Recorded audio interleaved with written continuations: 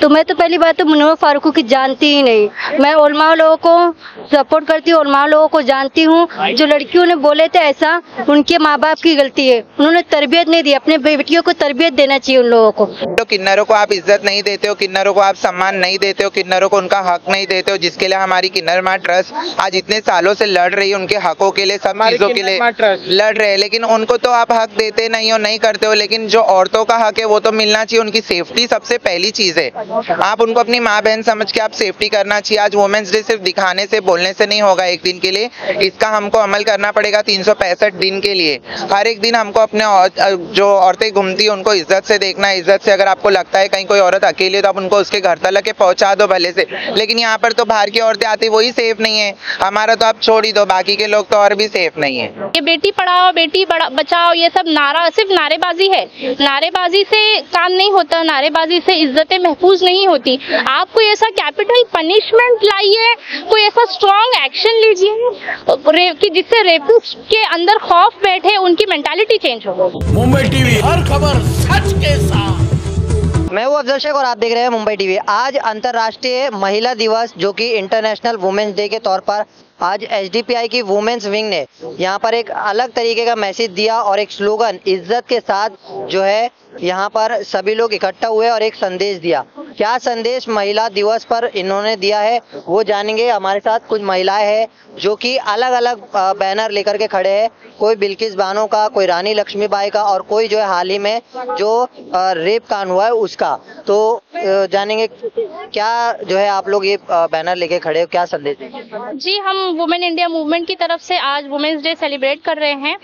इसमें हमने ये बताया कि वुमेन्स ने, औरतों ने जब अपने हुकूक को हासिल किया, जब वो लड़ी तो उन्होंने हर शोबे में कामयाबी, तरक्की हासिल की। आज औरत स्पेस में भी चली गई है। बावजूद उसके ज़मीन पर आज हालात ये हैं कि औरत अपने घरों में, अपने मार्केट में, अपने वर्क प्लेस में स्कूल्स में कॉलेजेस में कहीं पर भी सेफ़ नहीं है।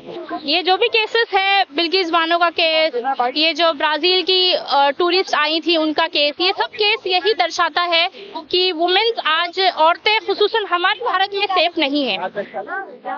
ये अलग अलग जो बैनर था एक तरफ़ रानी लक्ष्मीबाई का स्लोगन है और वहीं दूसरी तरफ़ बिल्किस बानो का।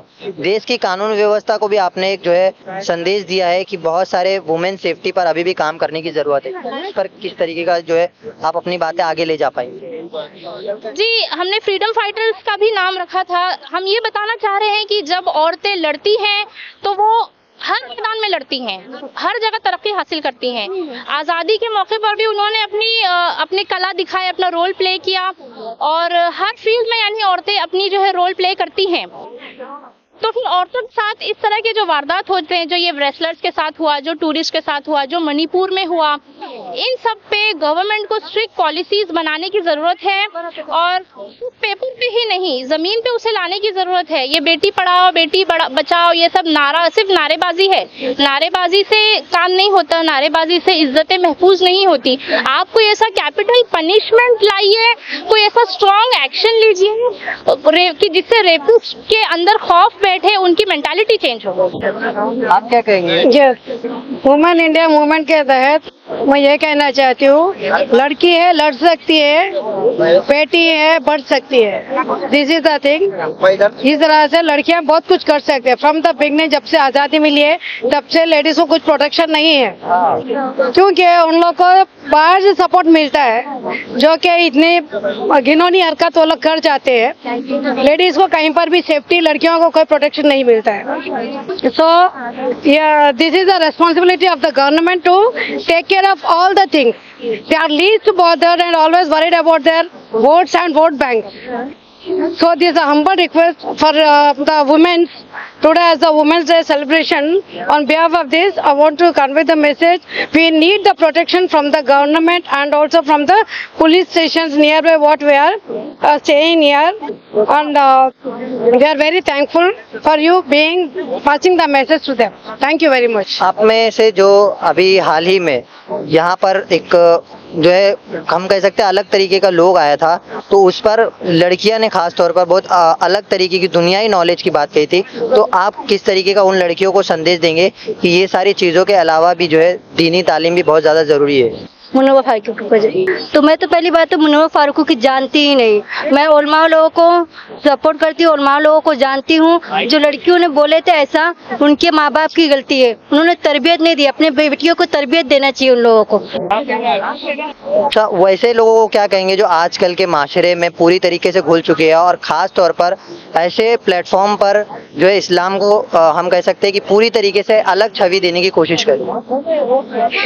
ये बहुत गलत उन लोगों का एक्शन था कि जो स्पेशली वो लोग जो बुरखा पहन पहन कर उस मजलिस में गई थी वो बिल्कुल एक नहीं वैसे लोगों को कैसे आप संदेश देंगे? क्योंकि सारी आप जो है महिलाएँ हैं तो उन लोगों को कैसे ताकीद देंगे? आने वाले दिनों में कुछ अवेयरनेस का प्रोग्राम हम उनके देखिए हम उनके पेरेंट्स से कहना चाहते हैं। ये कमी जो है कहीं ना कहीं वहाँ से होती है कि हमारी तरबियत पेरेंट्स की स्ट्रांग नहीं होती। जब इस्लामिक जी जब जब जो है इस्लामिक बुनियाद पे तरबियत सही से नहीं होती जब इस तो इस तरह की औलाद जो है वो इस तरह बहकती है और दुनियावी जो है चीज़ों में पड़ती है। तो आप क्या कहेंगे कि आजकल की लड़कियाँ नाचने गानों के पीछे दीवाने हैं? इस्लाम का ऐसा कोई इश्यू है women is women girl is girl lady is lady so respect हर मज़हब के लड़की को औरत को सबको मिलना चाहिए। It is not only for Islam and Muslim this is for each and every girl and every Indian women those are living okay हाँ उन लोगों क्या कहेंगे आप? सारी सबसे पहले उनके पेरेंट्स को सही उसकी तरबियत की उनके पेरेंट्स को ज़रूरत है। जब एक पेरेंट सही रहेगा एक माँ स्पेशली माँ क्योंकि हम वुमेन हैं तो वुमेन के हिसाब से ही बात करें तो वुमेन्स के लिए औरत बताइए कि यहाँ पे किस सिलसिले में औरत के एक माँ जो होता है पहला मदरसा होता है बच्चों का। तो माँ से तरबियत जब तक सही नहीं मिलेगी तो बेटियाँ तो यही करेंगी ना जो करनी है। फिर यही होगा आगे जब गलत होगा तो हम ब्लेम करेंगे दूसरों को कि हमारी बच्चियों के साथ गलत हुआ। लेकिन हम ये नहीं देखेंगे कि हमारी बच्चियाँ कैसी है। ज़रूरी नहीं है इसमें कि सारी लड़कियाँ ही ऐसी होती हैं पर कुछ की वजह से बाकी लोग भी बदनाम होते हैं और इसका मतलब बाकी लोग भी इसकी वजह से तकलीफ़ उठाते हैं झेलते हैं। हमारे साथ वुमेन्स डे के अवसर पर जोया जी भी मौजूद है। आज खास तौर पर जिस तरीके का जो ये अंतर्राष्ट्रीय महिला दिवस बनाया जा रहा है क्या एक जो है मैसेज यहाँ से इनके थ्रू आप देंगे? सबको अस्सलाम मैं ये मैसेज देना चाहती हूँ कि आज वुमेंस डे है, लेकिन वुमेंस कितनी सेफ़ है आज हमारे भारत में? कहीं से कोई लड़की इंडियंस पे यकीन करके इंडिया में घूमने के लिए आती है और उसके साथ में इतना गलत दुर्व्यवहार दुराचार्य हो जाता है ये सब कितनी गलत बात है। चलो किन्नरों को आप इज़्ज़त नहीं देते हो किन्नरों को आप सम्मान नहीं देते हो किन्नरों को उनका हक नहीं देते हो जिसके लिए हमारी किन्नर माँ ट्रस्ट आज इतने सालों से लड़ रही है उनके हकों के लिए सब चीज़ों के लिए लड़ रहे हैं। लेकिन उनको तो आप हक देते नहीं हो नहीं करते हो लेकिन जो औरतों का हक है वो तो मिलना चाहिए उनकी सेफ्टी सबसे पहली चीज़ है।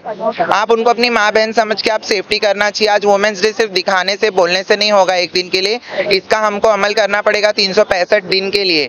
हर एक दिन हमको अपने औ- जो औरतें घूमती है उनको इज़्ज़त से देखना है इज़्ज़त से अगर आपको लगता है कहीं कोई औरत अकेली है तो आप उनको उसके घर तक के पहुँचा दो भले से। लेकिन यहाँ पर तो बाहर की औरतें आती वही सेफ़ नहीं है। हमारा तो आप छोड़ ही दो बाकी के लोग तो और भी सेफ़ नहीं है। महिलाएँ खुद लड़ सकती है इस तरीके का जो स्लोगन लेकर के। है बहुत कुछ लड़ सकती है। महिला आज के जमाने में क्या नहीं कर सकती है। जो सौ मर्द नहीं कर सकते वो एक महिला करके बता सकती है। बेशक। वो दूसरों की औरतों को भी अपनी माँ बहन समझे दूसरों की बहनों को भी अपनी माँ बहन समझे। और मैं यही लोगों से बोलना चाहूँगी सतर्क रहे और जितना भी हो सके दूसरों की माँ बहनों को भी अपनी माँ बहनें समझे। आज का जमाना आप लोग देख ही रहे कि क्या से क्या हो रहा है। समझ में आइए और जितना हो सके सेफ़ रहे। एक आखिरी सवाल ये है कि रेपिस को कैसी सजा आपके हिसाब से जो है होनी चाहिए? मैं मेरे दिल से बोलूँ क्या? सच्ची बात मेरे दिल से तो ये सजा होनी चाहिए कि जो इंसान रेप करता है उसको बीच चौराहे पे नंगा करके ना उसके साथ में पब्लिक के हाथ में दे दो। फांसी चढ़ा दो पब्लिक के हाथ में दे दो। और देखो जिसके साथ रेप होता है औरत के साथ में वो ज़िंदगी भर झेलती है ज़िंदगी भर दुख तकलीफ़ झेलती है लेकिन जो रेप करता है वो बहुत सी जगहों पे मैंने देखी है बहुत सी मीडिया में सोशल मीडिया पे। किस बानों का उदाहरण है। हाँ बिल्किस बानो है आसिफा वो छोटी बच्ची है फिर उसके बाद में और भी बहुत सारी बच्चियों का हिंदुस्तान में रेप हुआ है। और मुझे लगता है वुमेन्स डे का दिखावा करके कोई फ़ायदा नहीं है। पहले तो आपको अपनी बच्चियों को, लड़कियों को, इन सबको सेफ़ रखना चाहिए। जब आसिफा बिल्किस बानो और ये लड़की जो घूमने के लिए आई थी, जहाँ इंडिया में बोला जाता है कि अतिथि दे दो भव। वहाँ पर ही देखो, मेहमान के साथ ऐसा कर दे रहे तो अपने घर के रहने वाले लोगों के साथ ये लोग क्या करेंगे? मुझे तो कुछ बहुत डर लगता है औरतों के बारे में सोचकर, लेकिन मुझे इतना पता है कि अल्लाह ताला ने जब औरत को बनाया तो उसको बहुत मज़बूत मिट्टी से बनाया इतनी कमज़ोर नहीं है, जब वो एक मर्द को पैदा कर सकती है तो वो सब चीज़ों से लड़ सकती है। वो बेचारी एक अकेली रह गई। लेकिन आगे के लिए मैं आप सबको यही बोलना चाहती हूँ कि आप सब लोग मिलकर एक हो, औरतों के हक के लिए खड़े हों, और ये वुमेन इंडिया मोमेंट हमारे भाई का ये है, मुहिम है चल रहा है, आप सब लोग मिलके इसमें साथ दें, इंशाल्लाह। कैमरामैन नाविद कुरैशी के साथ मुंबई टीवी